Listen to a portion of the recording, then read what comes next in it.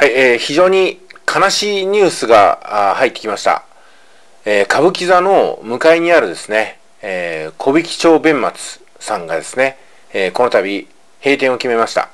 あ老舗の弁当屋さんということで、152年も続いたんですよね。えー、今回の感染症が直接の原因ではないというふうに記事には書かれてます。いろんな事情があったんでしょうけども、ただやっぱりね、えー、今回の感染症が間接的にも影響しているのは確かだと思うんですよ。うん、で、えー、今回ね、この老舗152年の小引町弁松さんがこのニュースに取り上げてますけども、あのこういったね、似たような老舗と言われているところ、まあもちろん新しい店もね、新しい店でちょっと気の毒であるんですけども、あの、日本をやっぱりね、ずっと見守ってくれていた飲食店、お弁当屋さん、お惣菜屋さん、まあいろんなね、店舗が今回去年は思いもしなかったような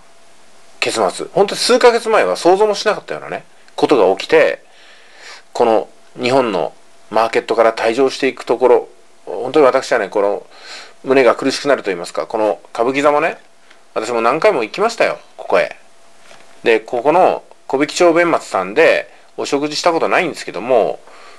ああ一回でもね一つでもお弁当を取っとけばなと思いましたよ。うん、なかなかね、あと忙しくて、で、地理にも不安内なんでね、こういった素晴らしい店があることを気づかないまま過ぎていってしまったんですけども、うん、なんか日本全国ね、こういうところがなくなっていくってのは辛いですね。で、私はね、歌舞伎ではないんですけども、古典芸能、民謡とか三味線をやってます。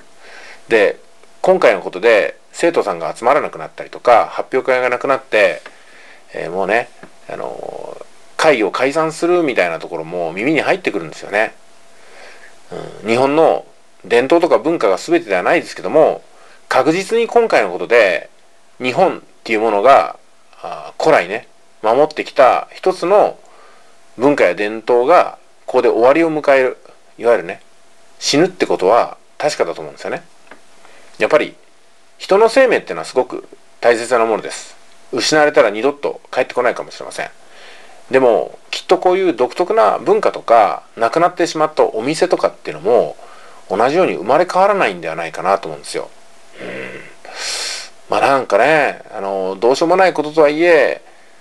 胸がちょっと苦しくなるようなねそんな事件でしたね。えそしてこれは今が終わりではありません。これから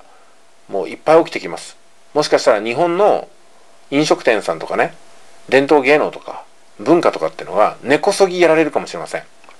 第一次大戦とか第二次大戦とか東日本大震災、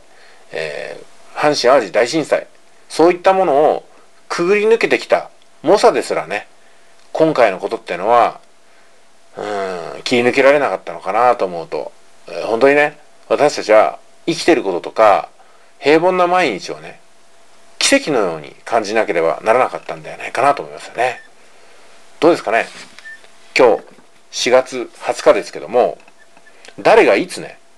こんな4月20日が来ることを想像できたでしょうか？えそして5月6月と続きますけども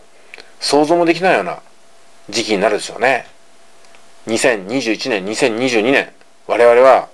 なんかこう希望を見いだすことができるんでしょうか？それでも私たちは最悪な状況の中でも最善を尽くしていくしかないんでしょうね、え本当にねえー、この小引町弁末さん、お疲れ様でした。